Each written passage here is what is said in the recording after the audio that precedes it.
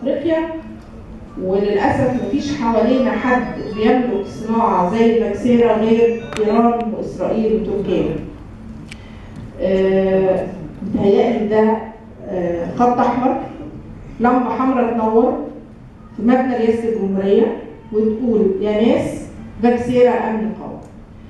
آه، من ساعة ما جيت قلنا هنبدأ نعمل إعادة هيكلة إدارية، نعمل نظبط نقفل الأنشطة الخسرانة بالنسبة لي أنا في شركة خدمات الدعم.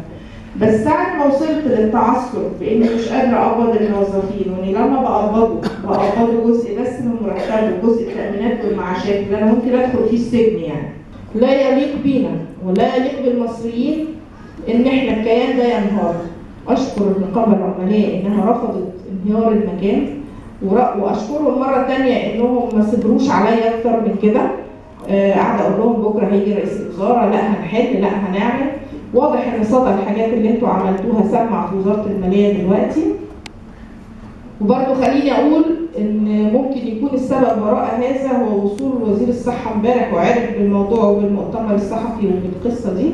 آه، أعتقد إنه ضغط عليهم على أساس يحاولوا يحلوا المشكلة وهذا ظني والله أعلم. بس الرؤية بتقول كده. وما كانش في حاجة تاني غير مكالمة معالي وزير الصحة امبارح.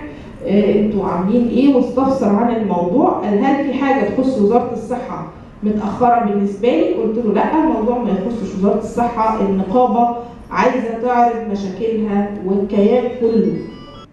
محتاجين الدعم ومحتاجين السرعة في حل مشكلة فاكسير اليوم له ثمن عندنا. اليوم هيفرق معانا كتير قوي قوي قوي إحنا نتعشم ان المؤتمر ده مردود يوصل لرئيس الحكومة ومن هنا موجه نداء رئيس مجلس الوزراء بزيارة فاكسيرا إنه لازم يحضر هنا بإذن ربنا ويشوف على أرض الواقع ويتعامل مع المشكلة بطبيعتها كأمن قومي.